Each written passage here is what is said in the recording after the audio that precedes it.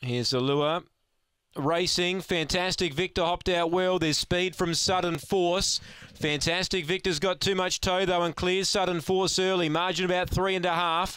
Third placing Forsaken. Then came Two Hands George. And last of all is Corborn Hope. Down the back. Fantastic Victor by four. Sudden Force sticks on. Tries to peg back the margin. A length away to Forsaken. Then Two Hands George. It's still Fantastic Victor clear.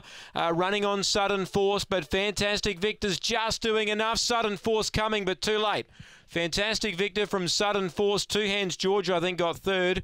Maybe from Forsaken and Corborn Hope. And the time is uh, roughly around that 30 and 60 mark. Again, 30 and 64. Fantastic Victor does enough. Wouldn't have wanted it much further. Sudden Force was coming. It's just missed. Seven defeats one. Five is third. That is Forsaken. Four is fourth. Two hands George.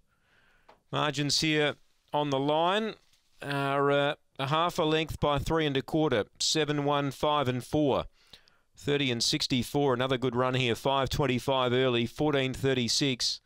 1763 and 1301 the sectionals. 715 and 4 confirmed here. And the $1.45 favourite just falls into win and holds off Sudden Force, who kept grinding home.